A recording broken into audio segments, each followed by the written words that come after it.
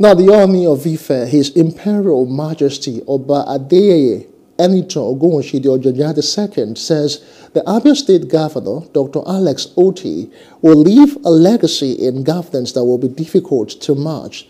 The highly revered Yoruba leader spoke when he visited the governor in his country home in Nvosi, Isialangwa South local government area of the state.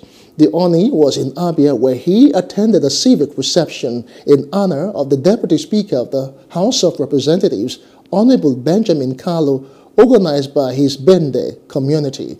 The event also witnessed the unveiling of the Peace in Southeast project, PSAP, an idea of Honorable Kalu as part of the activities marking the grand civic reception, Thanksgiving, and homecoming of the Deputy Speaker.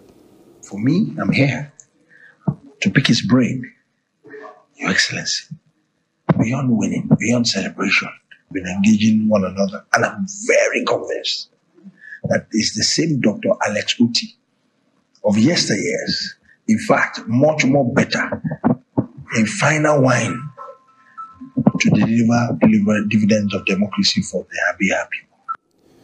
Hello. Hope you enjoyed the news. Please do subscribe to our YouTube channel and don't forget to hit the notification button so you get notified about fresh news updates.